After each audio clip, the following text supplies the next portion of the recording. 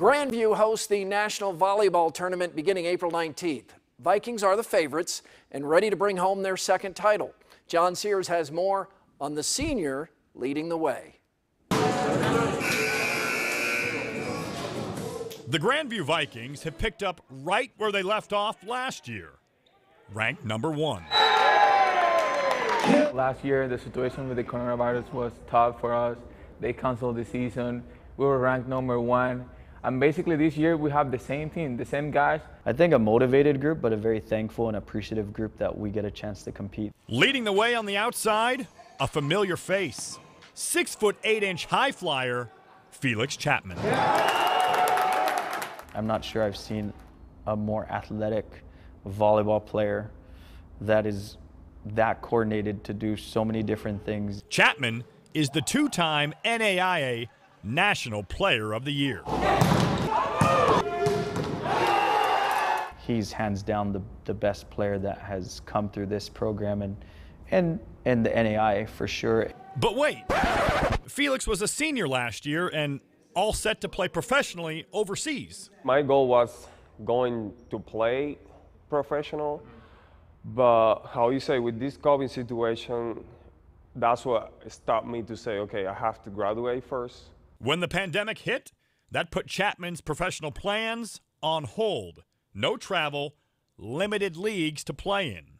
Definitely was was a safety thing because like we didn't know what go, was going on in the world. So it was back to Grand View to use that extra year available to all athletes. Right when he said he was staying, I said, "Oh, i've got a lot less things to worry about now."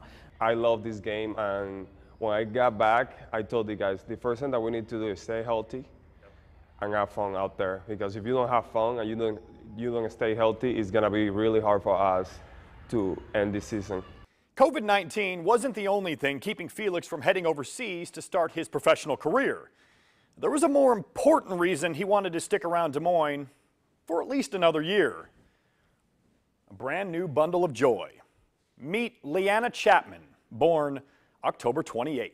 I feel blessed. You know, I love her. I love her mom. I love her family.